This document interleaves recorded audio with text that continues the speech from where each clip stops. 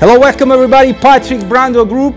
We are always in central London in another site and we are taking care of the AC. This is a cassette. When you're studying, you know, the conditioning or reheating of a restaurant, you need to take great care to the environment and to the sitting area. Meaning, you know, it's not nice that a customer can have the cold air in the back. They're going to complain.